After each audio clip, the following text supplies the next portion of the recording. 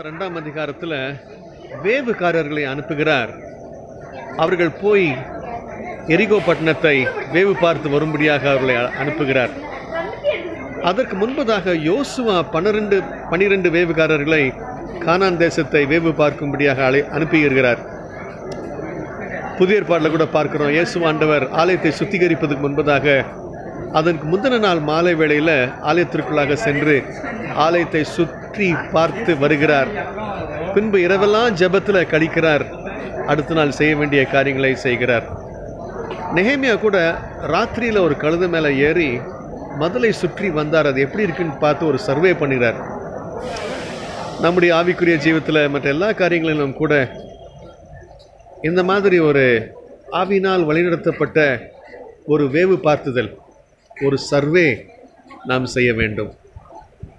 அவருடைய ஆவியானார் ஆவியானவரால் வழிநடத்தப்பட்டவர்களாக காரியங்கள் எப்படி இருக்கிறது என்று பார்த்து வந்து ஜெபித்து காத்திருந்து அபிஷேகம் பெற்று அவருடைய ஆவினால் நிரப்பப்பட்டு பின்பு நாம் அதை சுதந்திரித்து கொள்ள வெற்றியை காண அதுதான் தேவனுடைய சித்தமாக வழிமுறையாக இருக்கிறது. God bless you.